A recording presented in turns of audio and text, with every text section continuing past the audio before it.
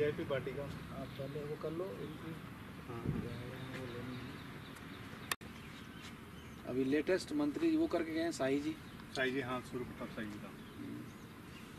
ये पुरानी सरकार के थे। हम्म। कितने टाइम हो गया इसको?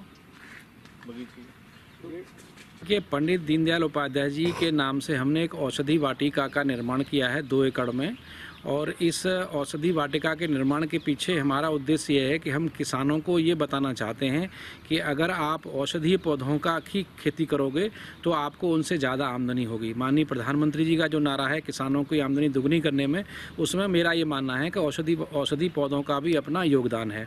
बीजेपी के प्रेरणा स्रोत कहे जाने वाले पंडित दीनदयाल उपाध्याय जी के वेटनरी विश्वविद्यालय में यहाँ वीआईपी वाटिका है। यहाँ करीब 22 से 25 वीआईपी आए थे। मुख्यमंत्री, डिप्टी सीएम हरियाणा के पूर्व मुख्यमंत्री मनोहर लाल खट्टर, उन लोगों के यहाँ पे कार्यक्रम हुए थे। उनके द्वारा एक वृक्ष लगाया जाता है। पंडित दीनदयाल उपाध्याय विश्वविद्यालय में बस एक ही रहता है। जो भी वीआईपी आए, यहाँ एक पौधा लगाए और पौधे के बाद जो उसका वृक्षारोपण किया जाता है तो कहीं ना कहीं ऐसा नहीं, वो आवारा छोड़ दिया। उसकी रख रखाव और देख के जो दो एकड़ में जो बाटिका बनी है 2016 में इसका शुभारंभ किया गया था। अभी तक फल फूल रही है और करीब 25 से ज़्यादा वीआईपी यहाँ आ चुके हैं। उसी को लेकर यहाँ फुलवारी का नाम वीआईपी फुलवारी रखा गया है। प्रवीण कुमार शर्मा ईटीवी भारत, मथुरा।